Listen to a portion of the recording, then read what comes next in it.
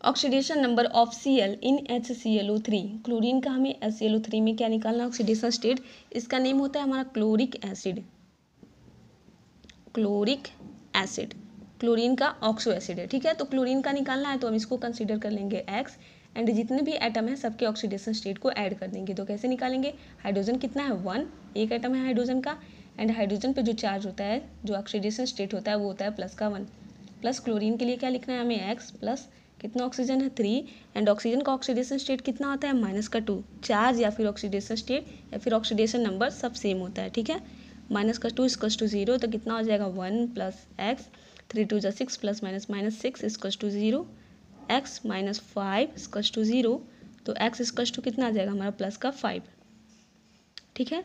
तो हमारा chloric acid में क्लोरीन पे जो ऑक्सीडेशन नंबर या फिर बोलें ऑक्सीडेशन स्टेट या जो चार्ज होता है, वो होता है प्लस का फाइव